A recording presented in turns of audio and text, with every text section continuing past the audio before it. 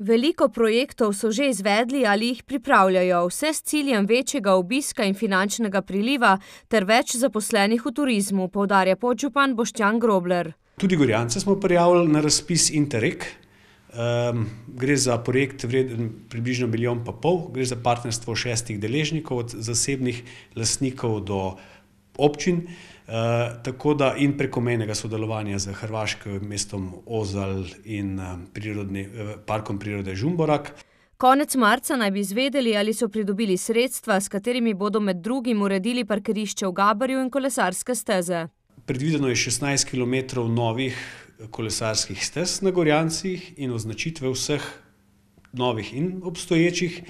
In seveda tudi druge športne aktivnosti na privatnih zemljiščih, ki jih bodo pa urejali, zasebni sektor, pač, s temi sredstvi, ki jih bodo dobili z razpisa. V širšem novomeškem okolju sicer na področju turizma deluje veliko deležnikov, ki zagotavljajo nočitvene zmogljivosti, gostinske in druge storitve ter izdelke.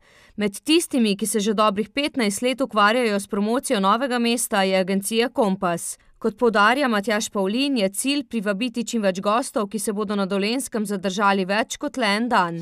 Tukaj nas veseli, da imamo v bistvu, naše zidanice, ki so že pokazale določene rezultate, odpira se nov hotel v centru mesta, tudi to bo priložnost, za večjo promocijo in prepoznavnost, da bodo turisti dejansko lahko prenočili v centru mesta.